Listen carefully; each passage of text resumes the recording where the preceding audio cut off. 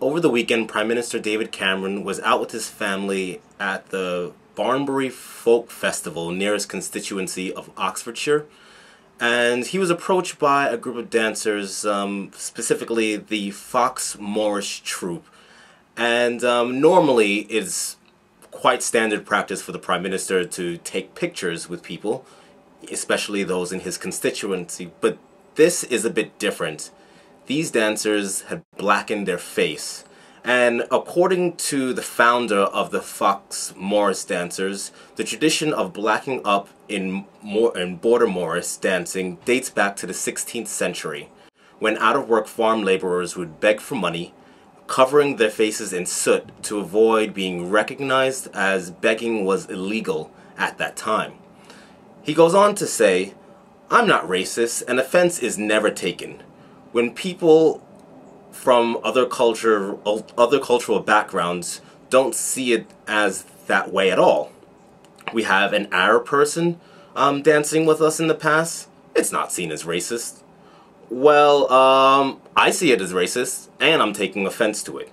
And um, the article goes on to goes on to explain that uh, there is a lot of debate on the authenticity of what that guy just said specifically because the origin of blacking up faces is perceived by most people as being racist. In fact, they are a member of the Fox Morris, Morris dance group, and the term Morris is said to be derived from Moorish, after the Moors who came from Morocco and lived in uh, southern Spain.